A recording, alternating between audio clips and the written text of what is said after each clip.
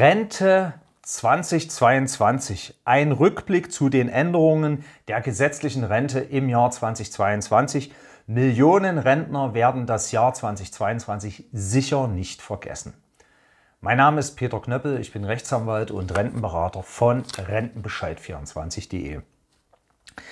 Das Jahr 2022 ist ja fast schon Geschichte. Das Jahr 2022 war unter anderem auch in Sachen Rente ein wirklich bemerkenswertes Jahr.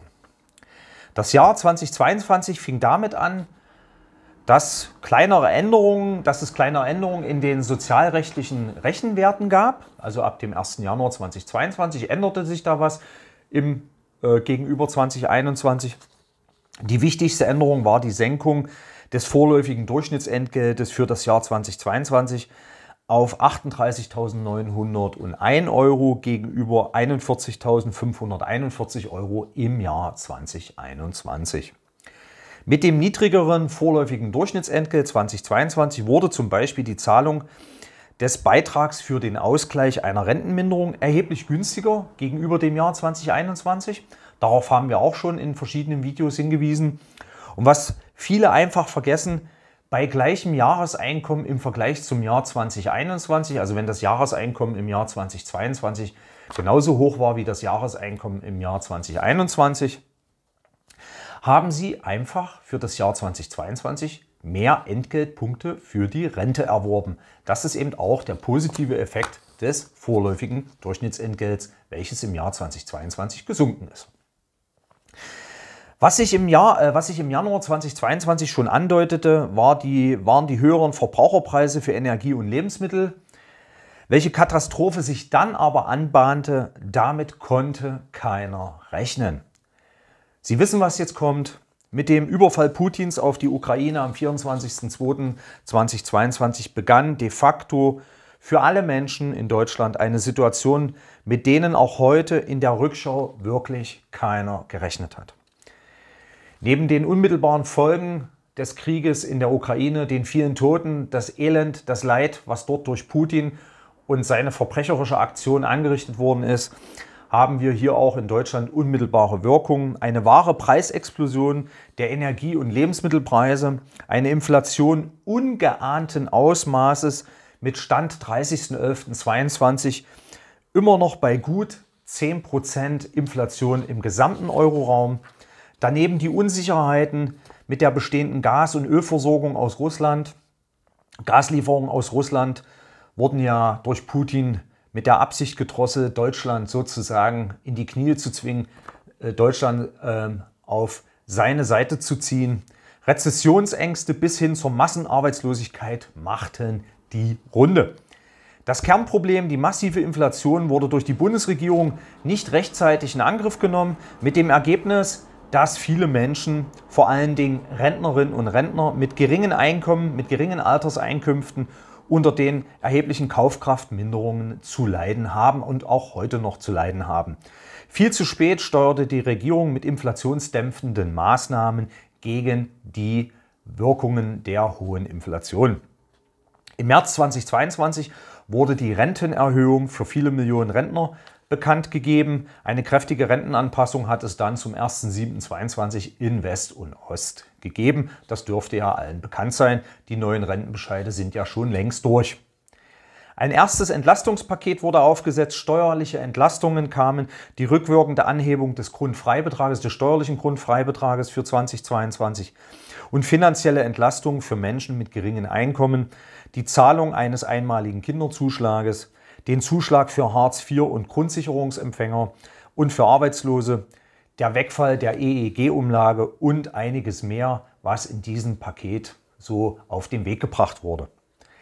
Da diese Entlastungen bei weitem nicht ausreichten, wurde das zweite Entlastungspaket durchgezogen, unter anderem mit der Energiepreispauschale für Erwerbstätige nach dem Einkommensteuergesetz.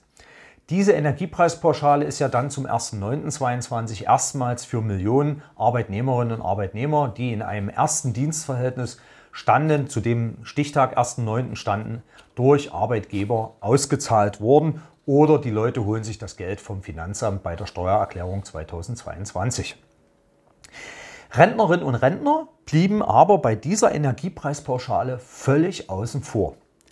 Vielleicht erinnern Sie sich noch an die Aussage der Präsidentin der deutschen Rentenversicherung, Frau Gundula Rosbach, dass die Energiepreispauschale für Rentner nicht notwendig sei, weil diese ja zum 1.7.22 die hohe Rentenanpassung erhalten haben. Ein Sturm der Entrüstung entfachte solche Aussagen, also sie war ja nicht allein mit diesen Aussagen, und auch die Tatsache, dass unsere Rentner nicht die 300 Euro bekommen sollten. Sie können sich noch erinnern, sie haben massiven Druck auf die Politiker ausgeübt, sodass es dann im Ergebnis aus diesem Sturm ein Flächenbrand wurde und die Bundesregierung nicht anders konnte, als in einem dritten Entlastungspaket im September 2022 Rentnern und Studenten auch endlich die Energiepreispauschale zuzubilligen.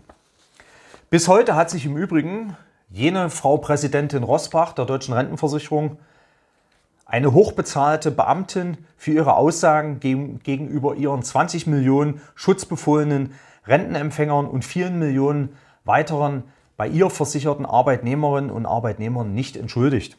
Ich kann Ihnen nur eins sagen, wäre ich der entsprechende Bundesminister, hätte ich diese Dame, Frau Rosbach, sofort entlassen, des Amtes enthoben. Denn Frau Rosbach hat hier einen schwerwiegenden Verstoß gegen ihre gebotene, für Beamte gebotene Neutralitätspflicht äh, begangen. Aber sie ist ja immer noch Präsidentin der DAV, also müssen wir leider mit dieser Dame immer noch leben. Im dritten und damit übergreifend auch für das zweite Entlastungspaket wurde die Energiepreispauschale für Rentnerinnen und Rentner eingeführt, die Strom- und Gaspreisbremse, die hoffentlich 2023 inflationshemmend wirkend wird. Daneben noch die deutlichen Änderungen im Wohngeld mit der Ausweitung der Ansprüche und einen völlig neuen Heizkostenzuschlag äh, für rund 2 Millionen Menschen. Darunter sicherlich auch viele Rentnerinnen und Rentner und auch Studenten, die von den neuen Regelungen des Wohngeldes profitieren können. Bitte also Antrag nicht vergessen. Mit Wirkung zum 26.10.22 wurde die steuerfreie 3000 Euro Inflationsausgleichsprämie für Arbeitnehmer beschlossen, von der auch arbeitende Rentner bis zum 31.12.2024 profitieren können. Das Bürgergeld wurde mit höchster Not und Eile zum 01.01.2023 beschlossen, damit es ein bisschen mehr Geld äh, für Bürgergeldempfänger ab dem 1. Januar 2023 geben kann. Aus Hartz IV wurde Bürgergeld. Im Oktober-November 2022 gab es erste Hinweise auf eine mögliche Rentenanpassung im Jahr 2023. Von rund 4% ist die Rede. Klarheit zu den tatsächlichen Zahlen werden wir erst im März 2023 haben. Das Jahressteuergesetz 2022 brachte auch noch einmal für Rentnerinnen und Rentner eine Entlastung, eine finanzielle Entlastung. So steigt der Grundfreibetrag 2023 nochmals deutlich gegenüber 2022 an. Die Grundrente wurde steuerfrei zum 01.01.2021 rückwirkend gestellt. Der Abbau der kalten Progression wurde mit der Verschiebung der Steuertarife begonnen. Arbeitnehmer und Rentner, die in die Rentenkasse noch Beiträge einzahlen, können ab 2023 diese Beitragszahlung voll als Arbeitgeber als Altersvorsorgeaufwendungen absetzen. Auch eine finanzielle Entlastung. Zum 7.12.22 wurden an gut 20 Millionen Rentnerinnen und Rentner die 300 Euro Energiepreispauschale ausgezahlt. Und last but not least, am 30.12.22, dem letzten Bankarbeitstag im Jahr 2022, wird die gesetzliche Rente an Millionen Rentner entweder vorschüssig oder nachschüssig ausgezahlt.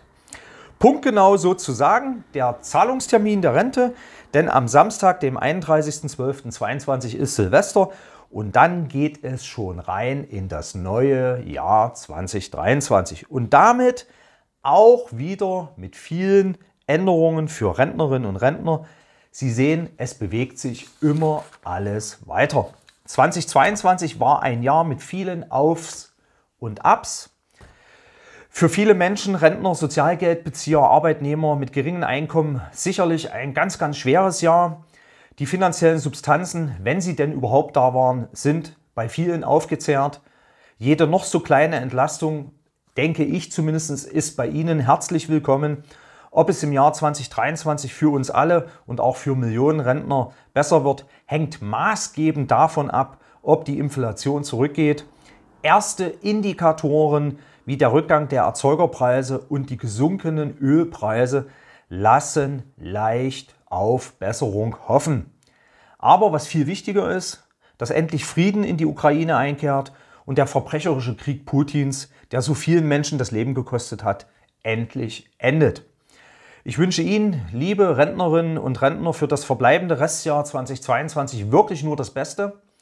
Gesundheit und die Hoffnung auf bessere Zeiten im Jahr 2023. Ihr Rentenberater und Rechtsanwalt Peter Knöppel.